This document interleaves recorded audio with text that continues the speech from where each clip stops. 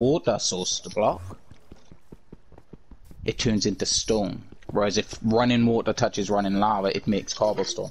So if you can make an infinite pool of water and only reveal one surface, one source block to the lava, to the running lava, it'll make stone. But it's got to touch the Um, top. timeout.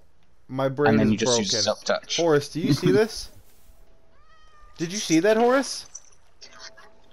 That I I I put water above the lava and it was an ice block. I'm clipping